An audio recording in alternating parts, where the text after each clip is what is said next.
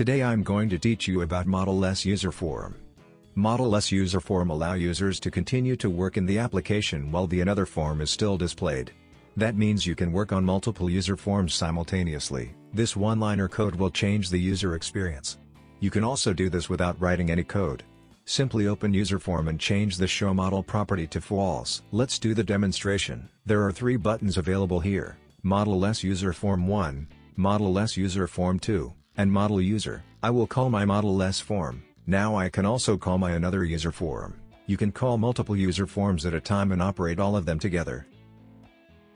As you can see, I'm able to type on my user form when the another form is displayed. I'm also able to operate my Excel file, you will be free to work on anything. Now let's demonstrate on modal user form. I've again called my same form but it's not modeless. As you can see, I'm not able to call my another form. I'm not able to click anywhere on the Excel file. You can use modal user form when you don't want user to operate anything, when the user form is called.